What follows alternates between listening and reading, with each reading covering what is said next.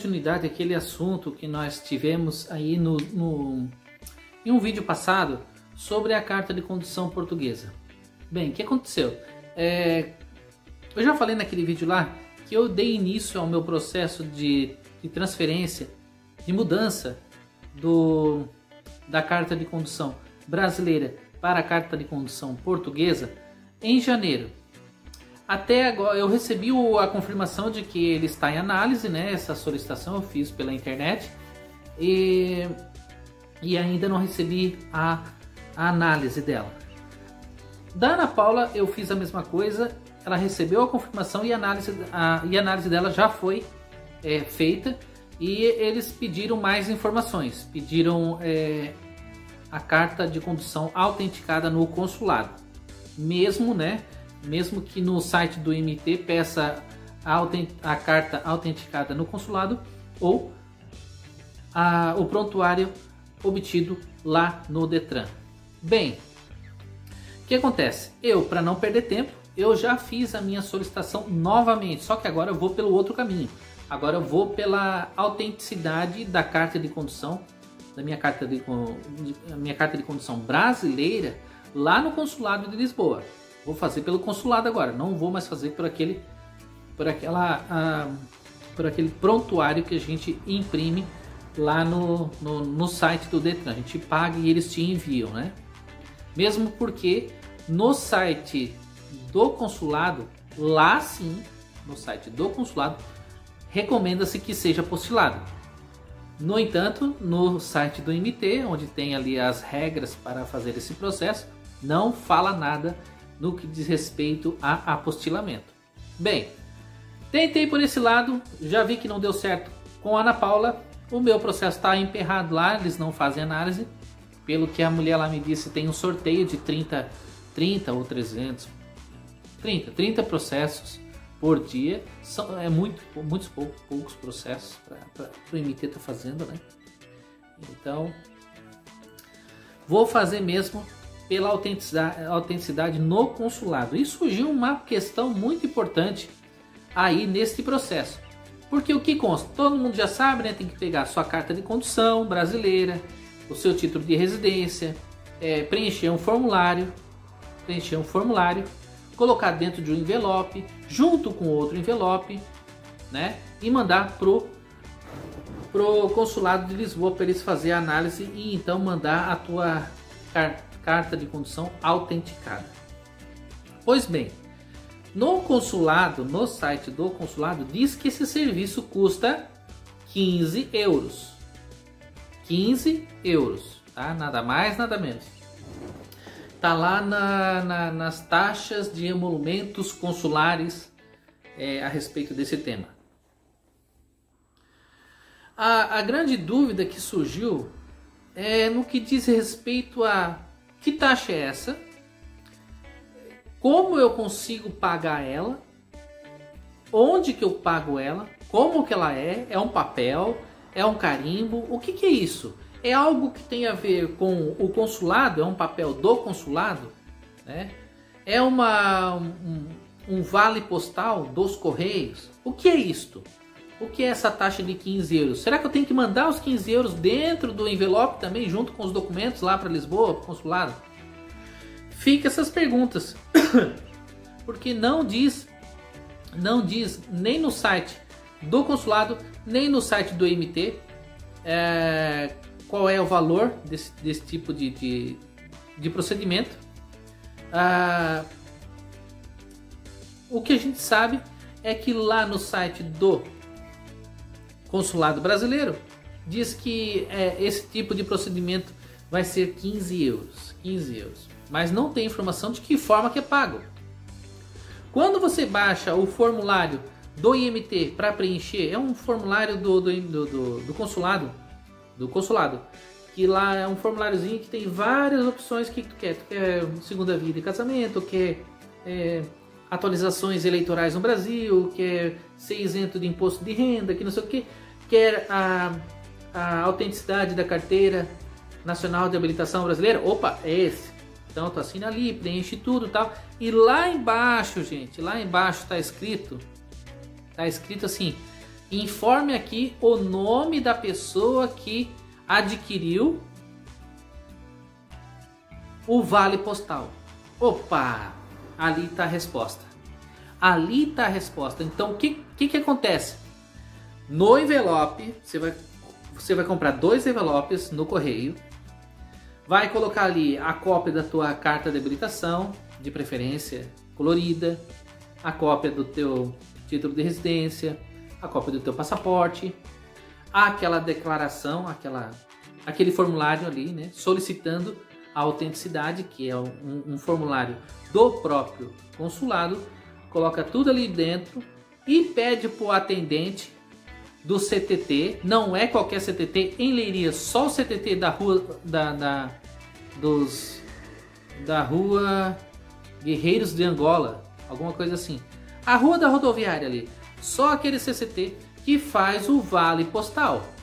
Um papelzinho desse tamanho assim, que diz o nome, ali o próprio atendente vai preencher o nome do destinatário a qual esse vale vai, vai, vai favorecer.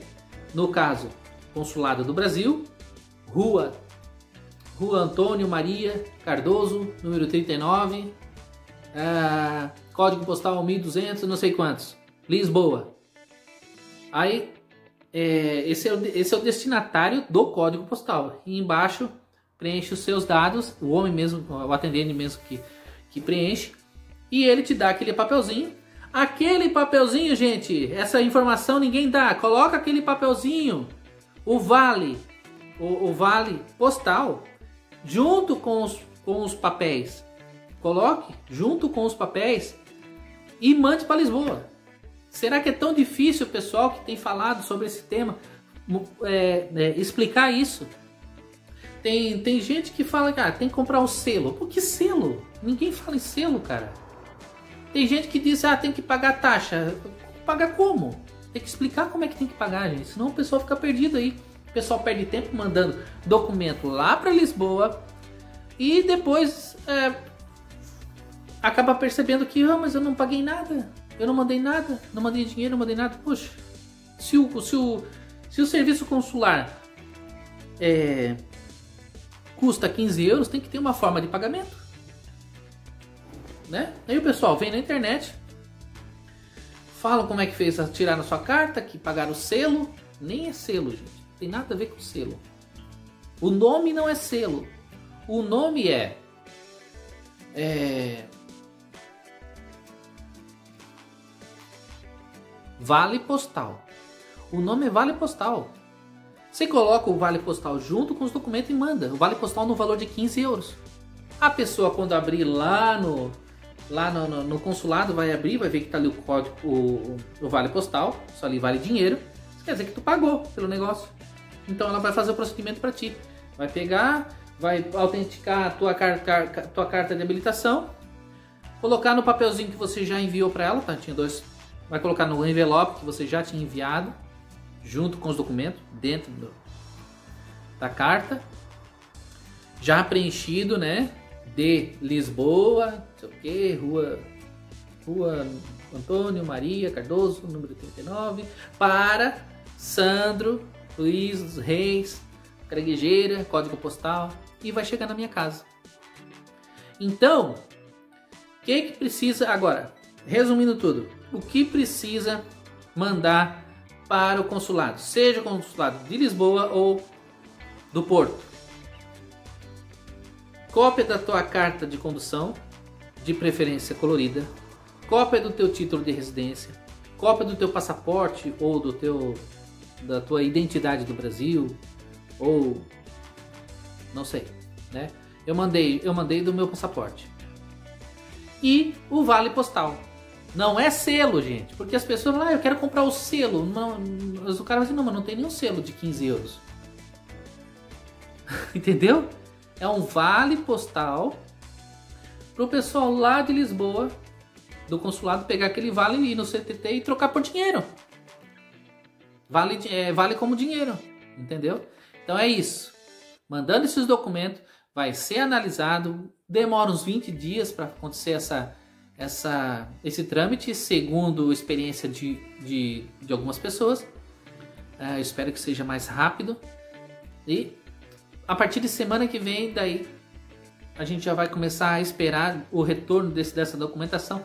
Quando chegar, aí sim você vai para o site do MT, abre aquela, aquela, aquele formulário no site do MT, o formulário que diz respeito à troca de carta de habilitação, de, a carta de condução brasileira para a portuguesa, preenche todos os teus dados e nos campos anexar, anexa então toda essa documentação que eles estão pedindo.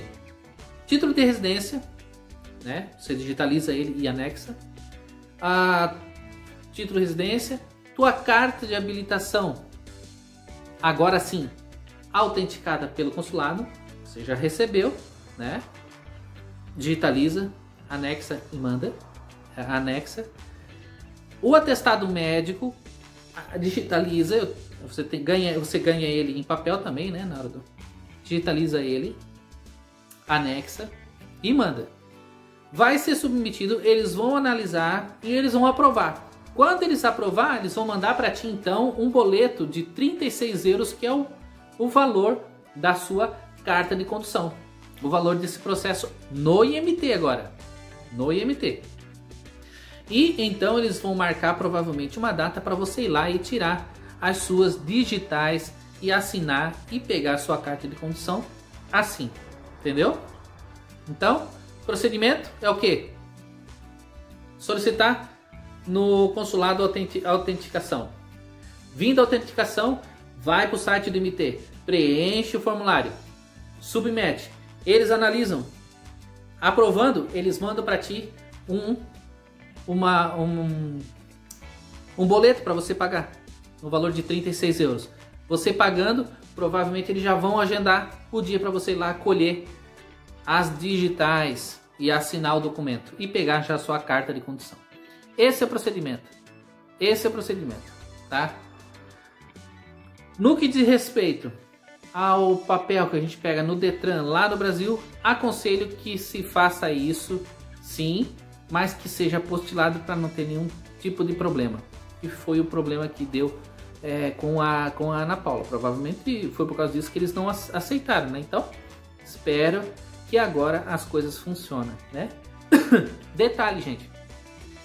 Eu falei no, no último vídeo que se você for pego pela, pela GNR, desculpa, eu falei que se você for, for fazer a, a troca da carta brasileira pela portuguesa no período depois dos três meses do dia que você fixou a sua residência em Portugal, você levaria coima. E não, não leva coima, tá? Para fazer esse processo.